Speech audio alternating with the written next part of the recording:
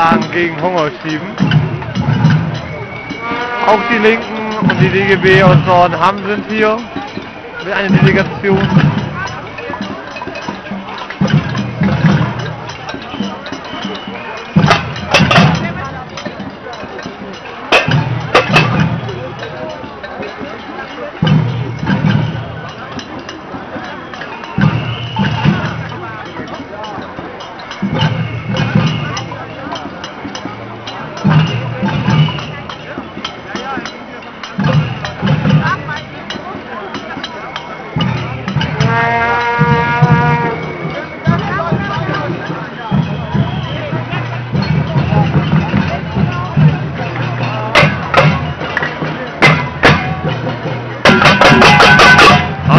Na? Was machst du denn hier? Film. Radikale Filme drehen? Ja. Aber.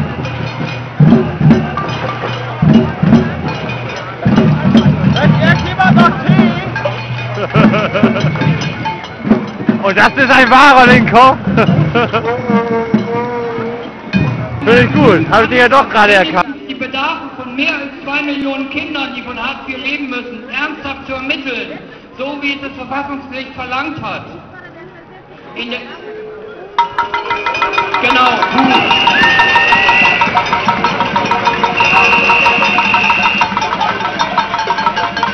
In den Daten dieser sogenannten Einkommens- und Aufstichprobe werden die Ausgaben für Kinder nämlich gar nicht gesondert erfasst. Sie wurden in den Hinterzimmern des Ministeriums mit komplizierten Rechenmodellen von den Gesamtausgaben des Haushaltes abgeleitet. Frau von der Leyen sollte ihr Ministerium nicht mehr Ministerium für Arbeit und Soziales nennen, sondern das Mysterium der unterdrückten Bedarfe.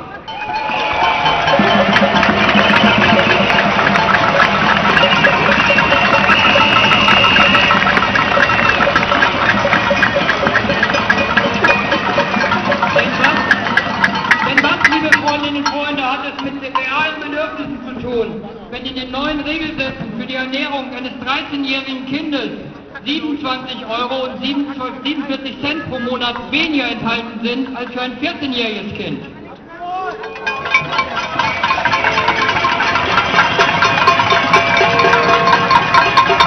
Es wird das Geheimnis, das Geheimnis unserer siebenfachen Mutter, Supermutti Ursula von der Leyen bleiben, wie wir unserem 13-jährigen Kind erklären sollen, dass es jeden Monat für 27 Euro und 47 Cent weniger zu essen bekommt als ein 14-jähriges Geschwisterkind.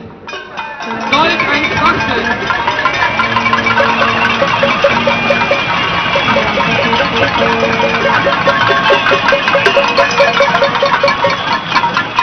Solch ein Schwachsinn kann nur dabei herauskommen, wenn man Statistikern vorschreibt, die realen Bedürfnisse von Millionen Menschen auf eine von vornherein festgelegte Summe herunterzurechnen.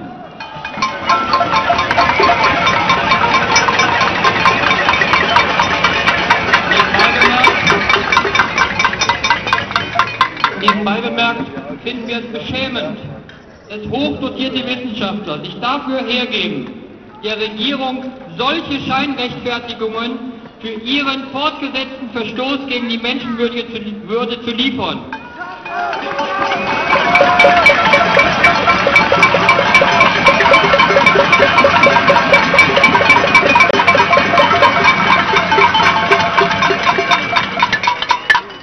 Aber vielleicht, und da müssen wir auch vielleicht ein bisschen was dazulernen, wir wissen, Hartz IV hatte Ergebnisse und vielleicht ist das schon ein erstes Ergebnis der neoliberalen Bildungsreform.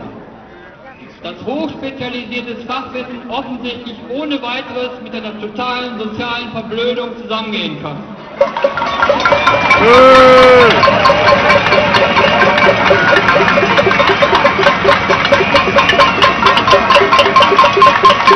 Diese Regierung, diese Regierung predigt nur eine allgemeine Familien- und Kinderförderung.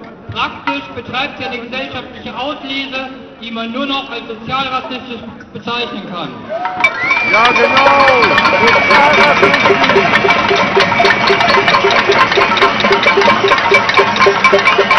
Denn wie sonst, wie sonst ist das krampfhafte Festhalten an unserem aussortierenden Schulsystem zu erklären oder die kaltschnäuzige Streichung des Elterngeldes nur für Hartz-IV-Kinder und nun die grobe Missachtung grundlegender Bedürfnisse von mehr als zwei Millionen Kindern. Das kann nur Verblödung sein.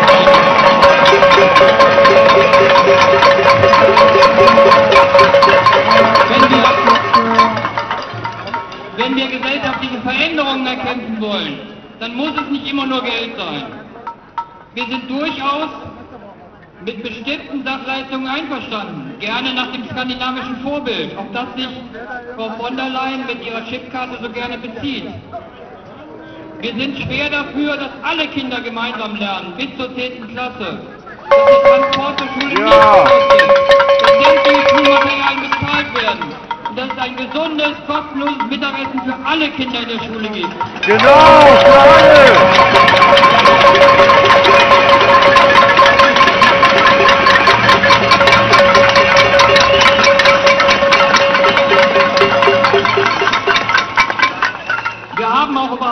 Dagegen, dass alle Kinder bis nachmittags professionell und liebevoll voll betreut werden. Solche Sachleistungen für alle nehmen wir gerne. Denn eine solche soziale Infrastruktur würde tatsächlich die weitere Spaltung der Gesellschaft stoppen und Integration voranbringen.